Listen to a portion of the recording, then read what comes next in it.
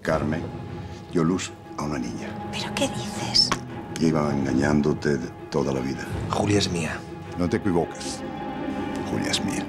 Tú nunca me harías daño, ¿verdad? Por Dios, Carmen. ¿Qué está diciendo? Explícamelo porque te juro que no lo entiendo. Lo siento mucho, Julián.